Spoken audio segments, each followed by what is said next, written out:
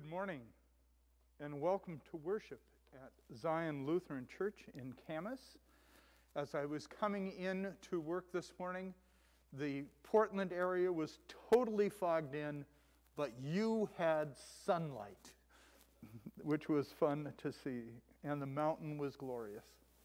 A um, couple things that we just want you to know is that um, during these times, with intense uh, uh, in, uh, infection rates and things like that, we are doing worship only uh, virtually, but we know that you are present with us and that it is together that we get to celebrate our life together, our ministry together, for that is what Christ has called us to do. A couple th- announcements coming up. Uh, we have confirmation today at 11:15 on Zoom. You should have received that link. Uh, no quilters on Monday. Um, also, Wednesday, I'm going to start a, a, Bible study on the uh, prophet Isaiah, and we're going to cover um, not every single piece of it. That would only take about uh, 26 weeks. But we're going to really focus in on Isaiah and how Isaiah is both a prophet of hope, but also a prophet of challenge. And so join us for that. Uh, Pat will be sending out the uh, links, and you will be able to connect automatically. Uh, men's breakfast on Thursday is happening on Zoom, 7:30. Uh, next Sunday, uh, the confirmation class on Zoom uh, is at 11:15, unless we announce and let you know in advance. Also, please mark on your calendars the Congregational Financial Meeting, February 6th, 1 p.m. on Zoom. All active, confirmed members, please, please attend. And visitors, you are welcome to be present on Zoom just to see how we do business. So please join us for that. So let's take a moment. I shared this last week, and we will do this each time that we cannot be together. Jesus calls us to remember. And he calls us to remember, remember me. But we, at these times, we get to remember each other. Think about those brothers and sisters who sit around you. Think about those brothers and sisters that you might have coffee with when that's available. Think about those uh, around you who are not members of the church, who are in your neighborhood and community. Let's just take a moment lift them up in prayer and celebration.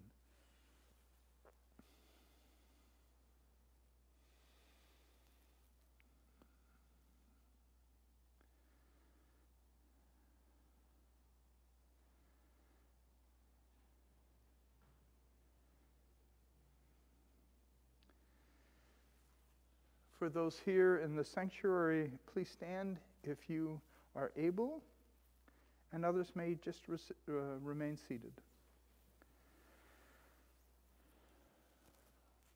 Our prayer of confession and forgiveness. Blessed be the Holy Trinity, one God, who creates us, redeems us, and calls us by name. Amen. Let us confess our sin in the presence of God and of one another. Most merciful God, we confess that we have sinned against you and your beloved children. We have turned our faces away from your glory when it did not appear as we expected. We have rejected your word when it made us confront ourselves. We have failed to show hospitality to those who called us to welcome. Accept our repentance for the things that we have done and the things that we have left undone. For the sake of Jesus Christ, have mercy on us, forgive us, lead us, that we may bathe in the glory of your Son, born among us, and reflect your love for all creation. Amen. Rejoice in this good news. In Christ Jesus, your sins are forgiven. You are descendants of the Most High adopted into the household of Christ, inheritors of eternal life. Live as freed and forgiven children of God. Amen. and let us sing together our hymn.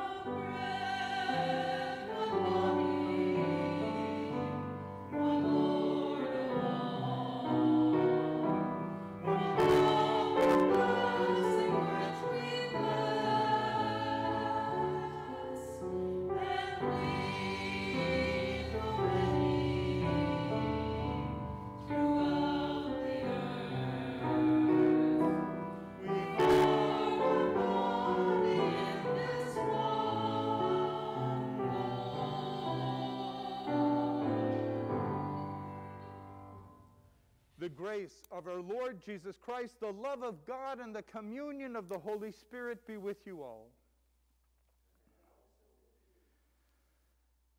We pray the prayer of the day. Blessed Lord God, you have caused the Holy Scriptures to be written for the nourishment of your people.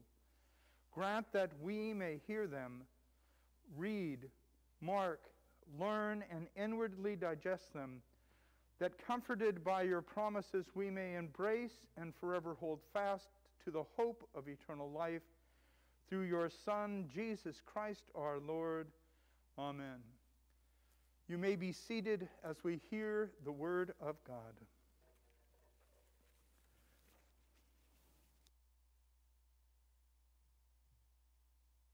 The first lesson today is taken from the book of Nehemiah all the people of Israel gathered together into the square before the water gate. They told the scribe Ezra to bring the book of the law of Moses, which the Lord had given to Israel. Accordingly, the priest Ezra brought the law before the assembly, both men and women and all who could hear with understanding. This was on the first day of the seventh month. He read from it facing the square before the water gate from early morning until midday in the presence of the men and the women and those who could understand, and the ears of all the people were attentive to the book of the law. And Ezra opened the book in the sight of all the people, for he was standing above all the people. And when he opened it, all the people stood up. Then Ezra blessed the Lord, the great God, and all the people answered, Amen, Amen, lifting up their hands.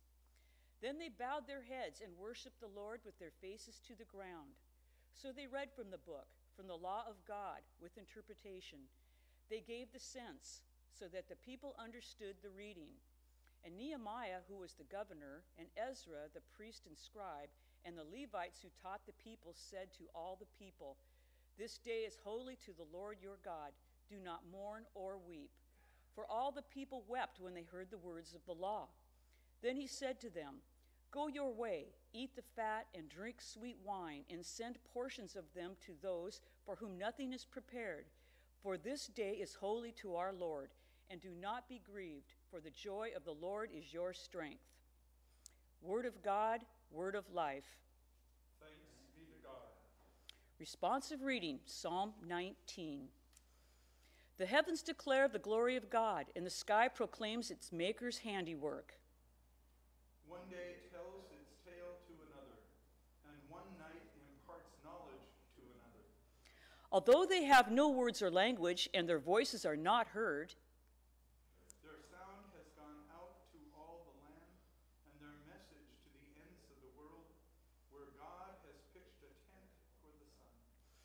It comes forth like a bridegroom out of his chamber. It rejoices like a champion to run its course. It goes forth from the uttermost edge of heavens and runs about to the end of it again. Nothing is hidden from its burning heat. The teaching of the Lord is perfect and revives the soul. The testimony of the Lord is sure and gives wisdom to the simple.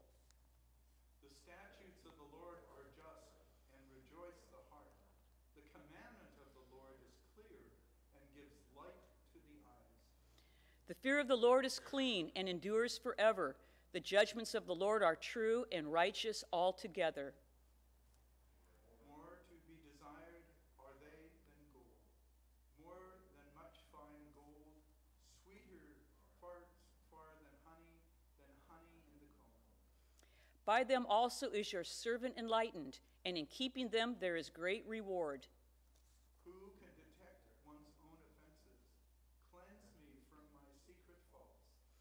Above all, keep your servant from presumptuous sins. Let them not get dominion over me.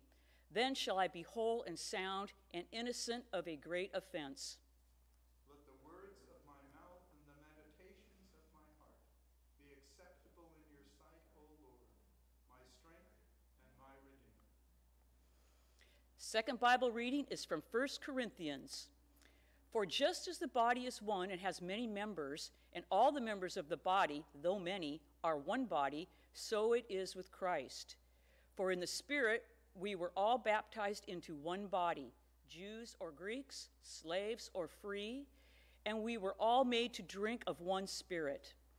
Indeed, the body does not consist of one member, but of many.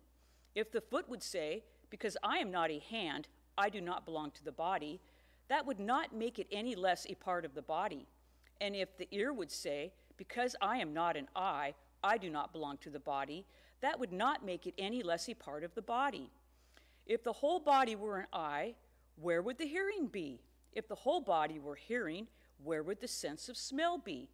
But as it is, God arranged the members in the body, each one of them as he chose. If all were a single member, where would the body be? As it is, there are many members, yet one body. The eye cannot say to the hand, I have no need of you, nor again the head to the feet, I have no need of you.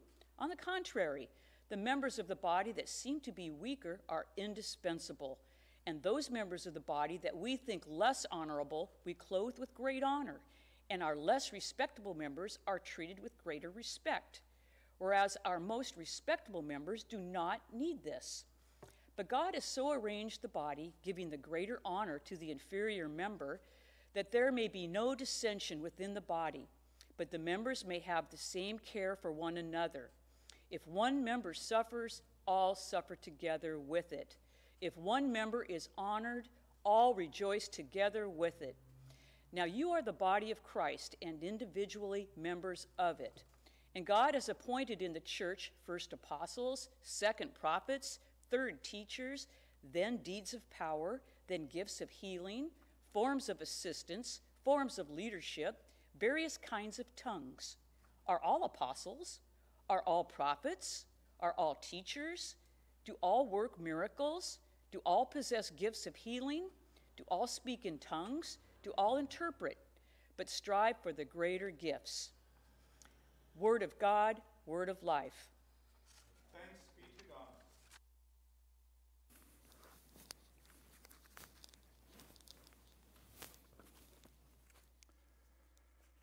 The Holy Gospel according to St. Luke, the fourth chapter.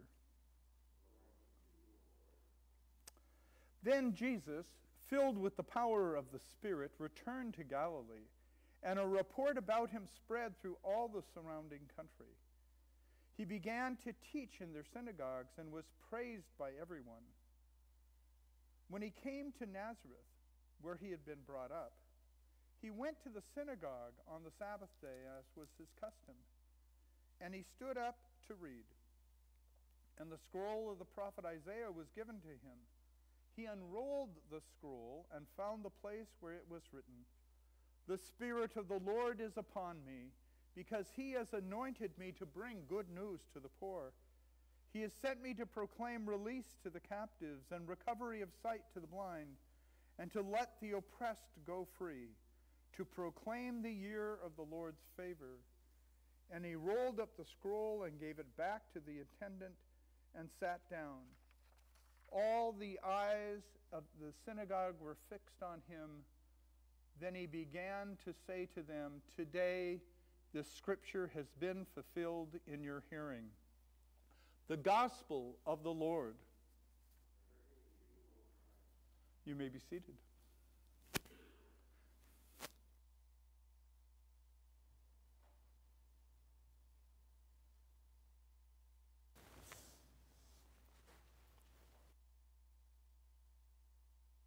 Morning.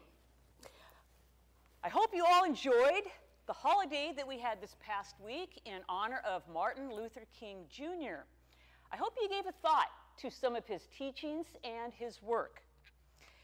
My message today is called The Two Martins. And for our confirmation class later today, there may or may not be a short quiz. Well, the two Martins were born nearly 450 years apart on opposite sides of the world. Martin Luther was born in Germany. Martin Luther King was born in Georgia, in the United States, during the Great Depression and at very racially segregated times. Martin Luther King's name was originally Michael King, but when his father, also a pastor, made a trip to the Holy Land and attended a conference in Germany, he changed both their names to Martin Luther King Sr. and Martin Luther King Jr. He was inspired by the life and work of Martin Luther way back when. This was the first connection between our two famous Martins. Both Martin Luther and Mo Martin Luther King Jr. went to university. Both gained doctorates in theology. Martin Luther King, when he was imprisoned in Birmingham for his freedom work, he quoted Luther's famous statement Here I stand, I cannot do otherwise, so help me God. They both had huge wrongs in their times that sparked lifelong battles for reform or change. For Martin Luther, it was the people having to buy indulgences or buy their way to heaven. For Martin Luther King, It was a black woman being arrested for not giving up her seat on a bus to a white man. Both Martins saw the people struggling with bad laws and bad corruption in their times, and they spent the rest of their lives fighting for truth, equality, and justice in the eyes of God and their fellow man. They both grew up with a deep love and faith in God and were both pastors of their churches. But they also both lived controversial lives. Like all of us, they were not perfect. They were sinners and they made mistakes. But we remember Martin Luther and celebrate Martin Luther King Jr. Day today because of the work they did to leave the world a better place. They both left a lot of their thoughts and beliefs in written and spoken word. Their writings and speechless speeches are timeless and still very powerful today. Please pray with me. Dear God, thank you for our two Martins and their work to make the world a better place. In Jesus' name we pray. And all God's people said, Amen.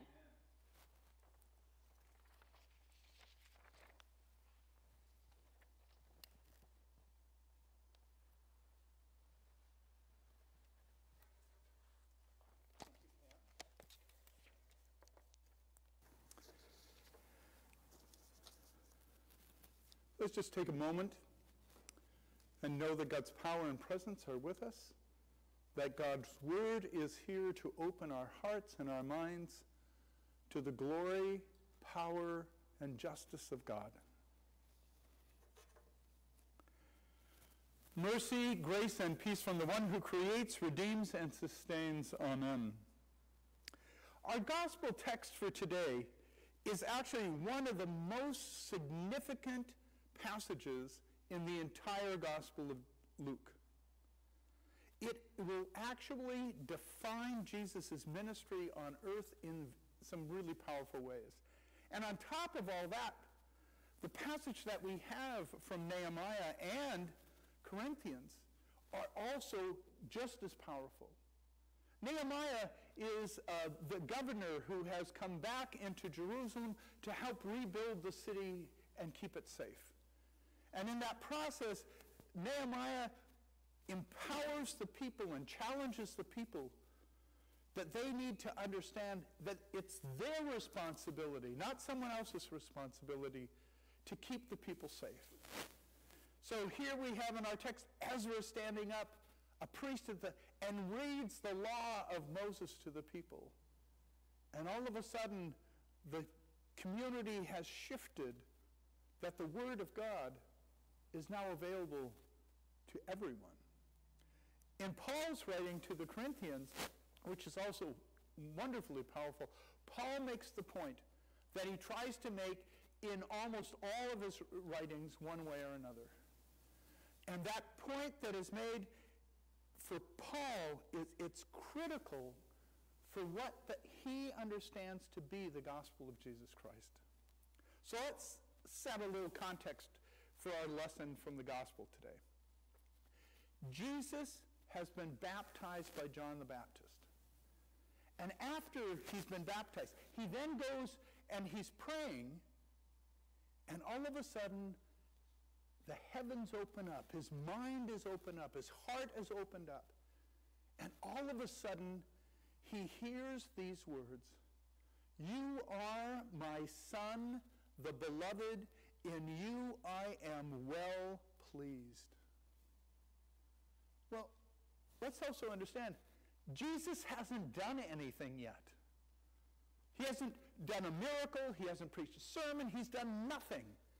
And what God proclaims about him is, I am already pleased with you before you've even started your ministry. But then it goes, goes deeper. Because at that point, Jesus is trying to figure out what this means. What does it mean to be called son or beloved or being well pleased by God? And he goes into the desert for 40 days and 40 nights. And what happens in the desert, in addition to being hungry and thirsty, what happens in the desert is Jesus comes to understand what his ministry is not going to be about. He understands that it's not about satisfying himself. It's not about Jesus taking care of Jesus. He, he rejects that temptation. He rejects the temptation of worldly power. He rejects the temptation that what this is all going to be about is one big show and impressing everybody. He rejects all of those temptations of what his ministry might be. But in that process, filled with the power of the Holy Spirit, this is important. He's filled with the power of the Holy Spirit. He knows what he's not supposed to do. But then what he does is he goes into back, literally back home, back to Galilee where, where he grew up. And eventually, all the people begin to hear about Jesus. And what's interesting in Luke, he doesn't tell us what people are talking about, just that they are well pleased as well. So Jesus comes, and all of a sudden, the rumors and the reputation of Jesus begins to spread. He goes home to Nazareth, where he grew up. And what he does, and he obviously has read in the, their synagogue before because he's invited up to do the reading and to do the reflection on that text. And in Jewish tradition, what they would do is they don't, didn't have a Bible, they didn't have a book. What they had were these huge scrolls that were written on, actually uh, written on sheepskin, and that they would bring the whole reading, set it on the, the table, and then it would be rolled out, and it would be marked where he should be reading from. Jesus takes those marks off and finds another passage in Isaiah. He's breaking the rules.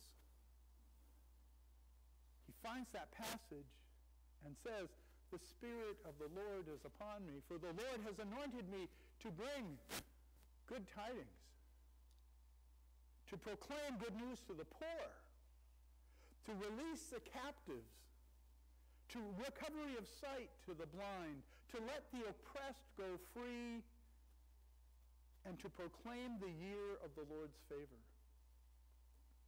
And then he sits down and says, This has been fulfilled in your hearing. So, having rejected, and this is uh, part of this, why this is important, Jesus has rejected worldly power as the basis of his ministry. He's rejected a ministry based on miracles to be a sh- showy in this case. And then Jesus proclaims a kingdom that will ca- care of the weak and the poor, release to those who are in debt or somehow or another captive by the hardness and harshness of life. He comes in and proclaims that this is about healing of the people and healing of the body. And what he does is when you take someone who has been excluded, Jesus is, this is also a ministry of restoring people into the relationships of the community.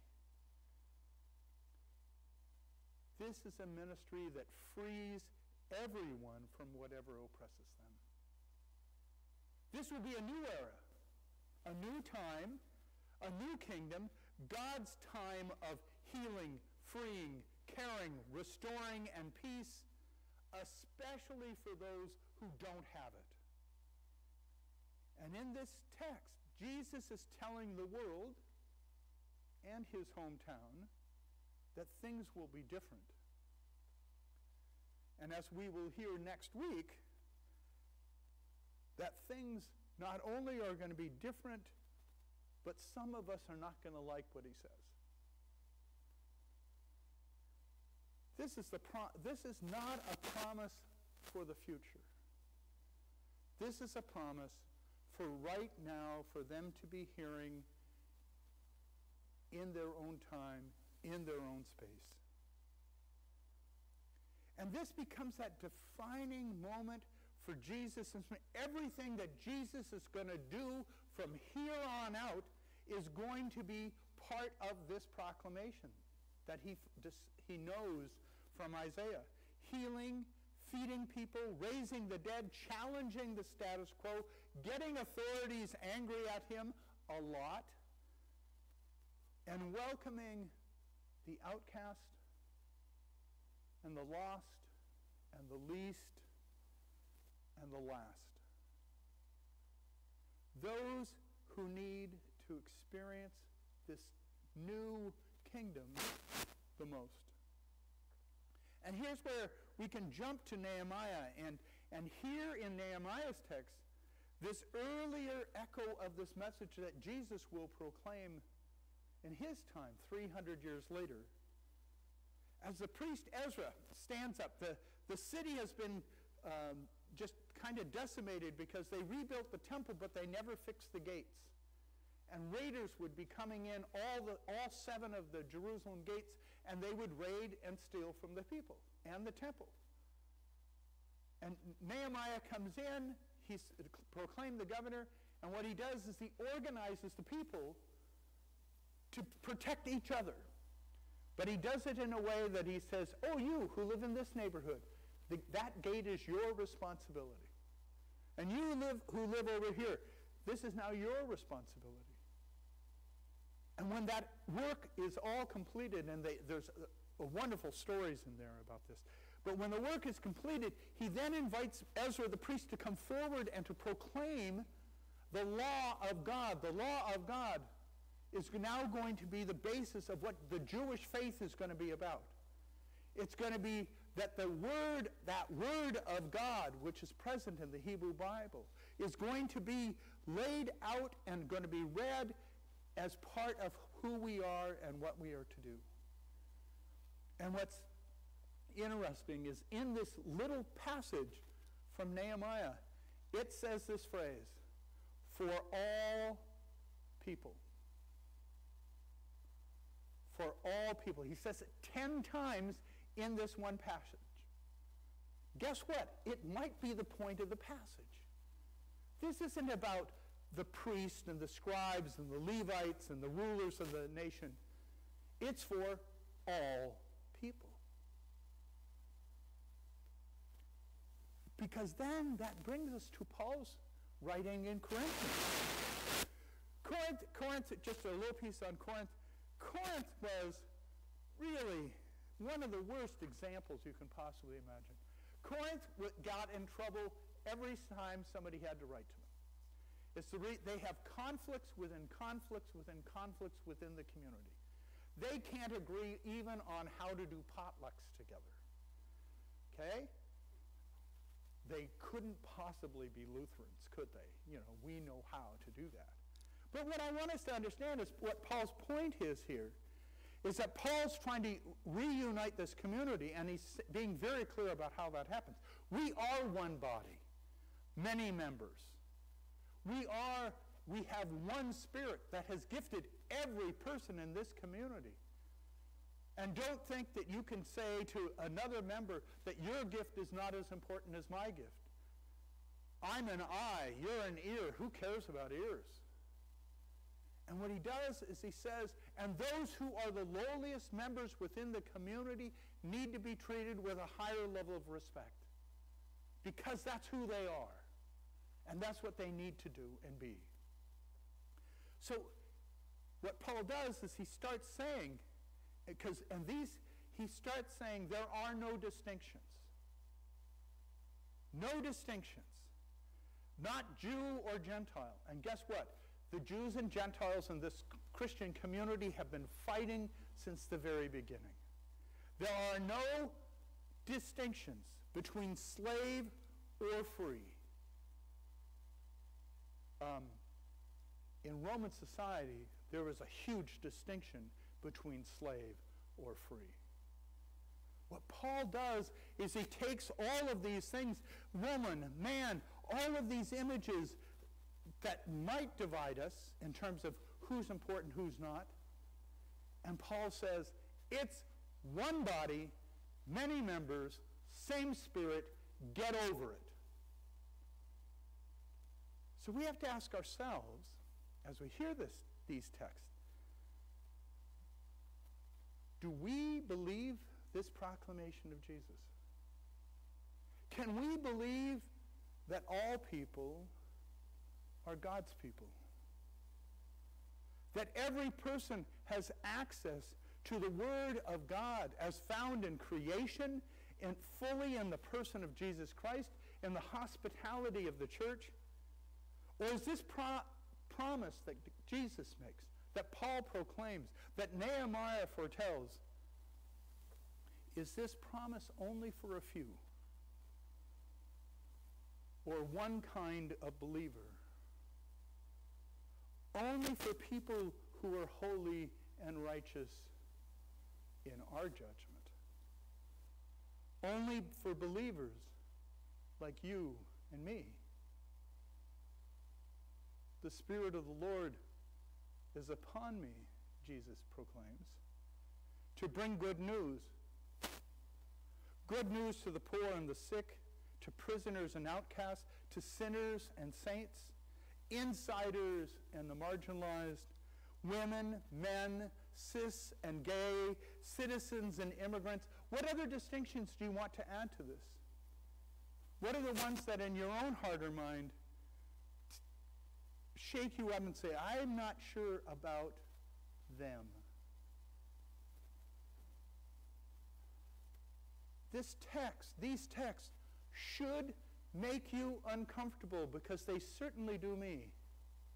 Because they challenge me at the very core of my relationship with God to say, can I believe that it's for all people? Because here's something about Scripture that I think we have to understand.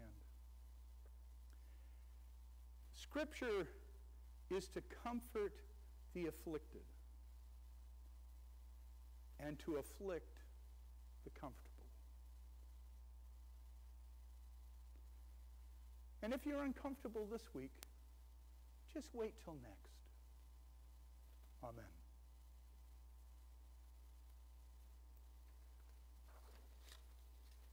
and we sing.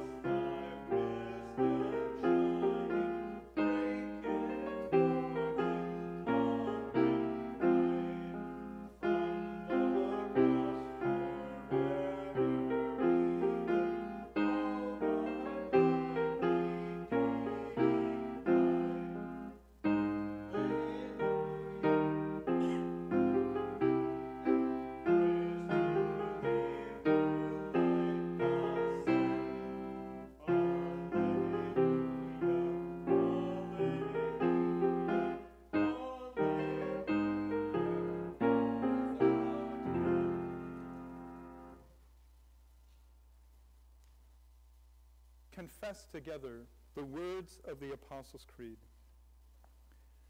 I believe in God, the Father Almighty, creator of heaven and earth.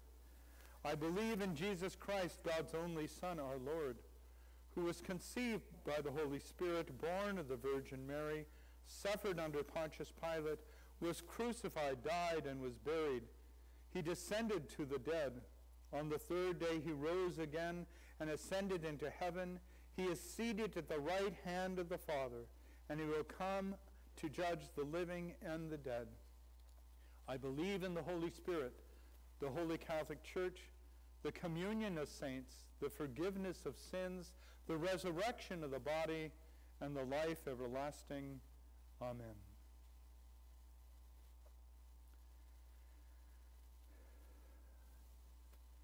We lift up the prayers of the people.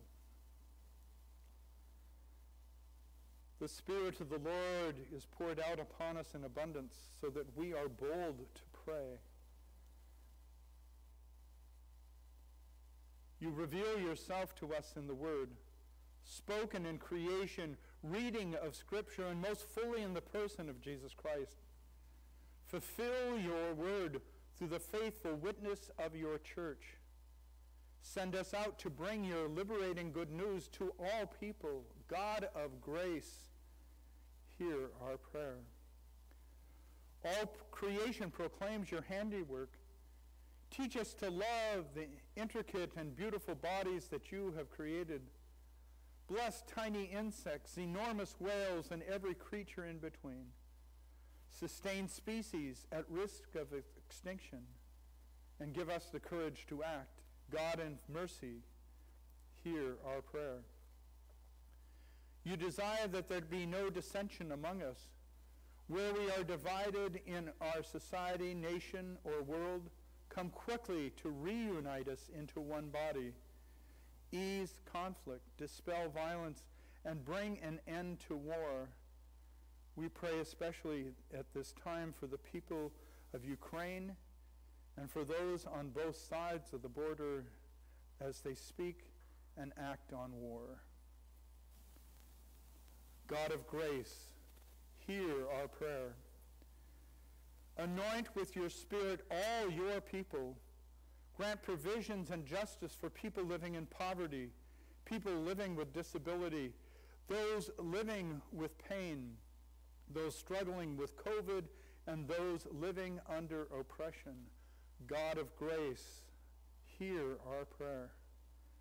Build up the body of Christ in this place Bless the variety of ministries in this congregation, especially the call committee, church council, and the COVID task force.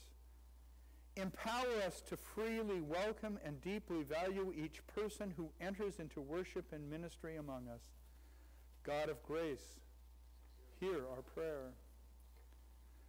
For what do people what do the people of God pray for this day?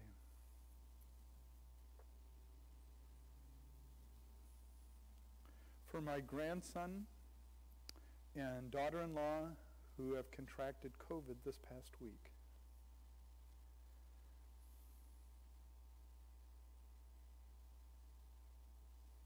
For my sister Margaret, who is anticipating surgery over the next few days.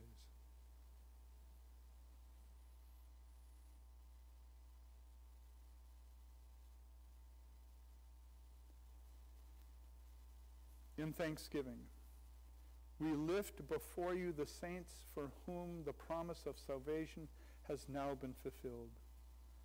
Tend to those who mourn, especially the family of Kathleen Croft. Bring us together in your everlasting glory. God of grace, hear our prayer. Since we have such great hope in your promise, O God, we lift these and all of our prayers to you in confidence and faith through Jesus Christ our Savior. Amen. The peace of the risen Christ be with you always. Please encourage you the peace for each other and to those around you, and be a person of peace this week. Let us hear our special music. You may be seated.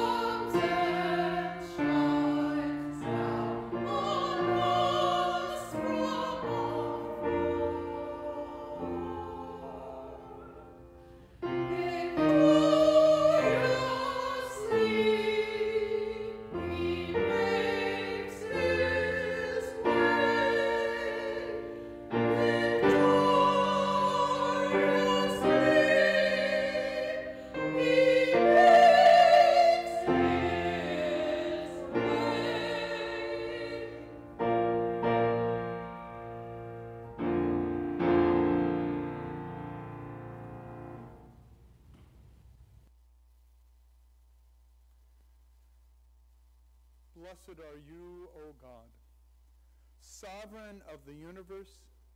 You offer us new beginnings and guide us on our journey. Lead us to your table. Nourish us with this heavenly food. Prepare us to carry your love to the hungry world. In the name of Christ our light. Amen.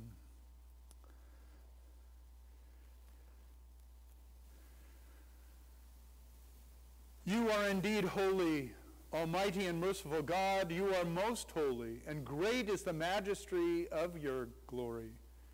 You so loved the world that you gave your only Son, that whoever believes in him may not perish but have eternal life.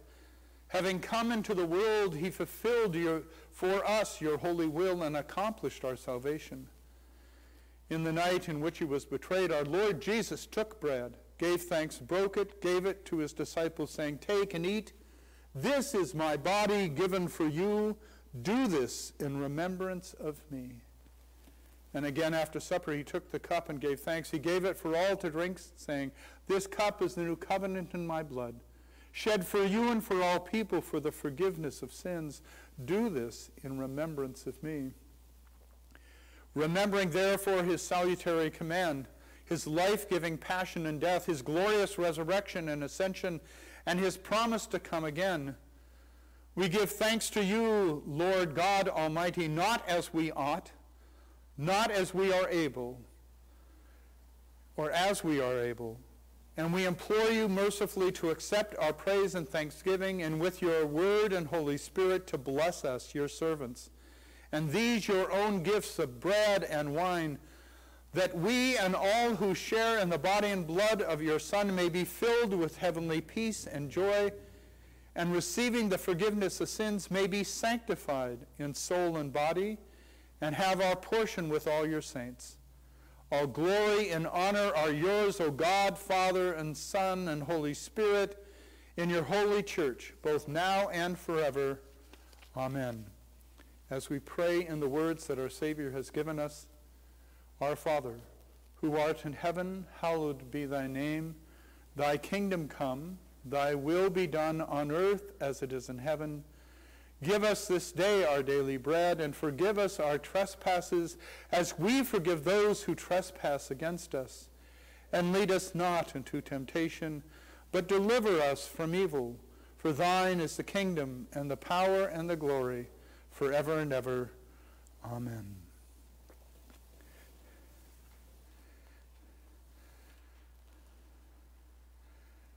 This is the one who comes proclaiming, This is the one who gives us life. For here is Christ our Lord in bread and wine.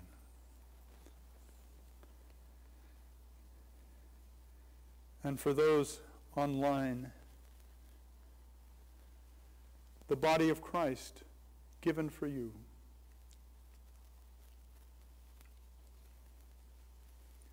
The blood of Christ shed for you.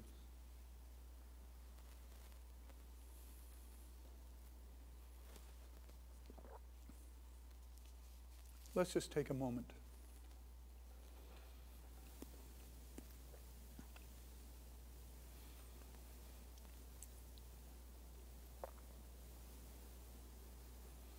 The body and blood of our Lord Jesus Christ strengthen you and keep you in God's grace now and forever. Amen. We give you thanks, gracious God, and together we say, For we have feasted on the abundance of your house. Send us to bring good news and to proclaim your favor to all, strengthened by it the richness of your grace in your Son, Jesus Christ Amen. And receive God's blessing. God bless you and protect you. God smile on you and be gracious to you. God show you his favor and give you his peace. In the name of the Father and the Son and the Holy Spirit. Amen. And we have our sending hymn.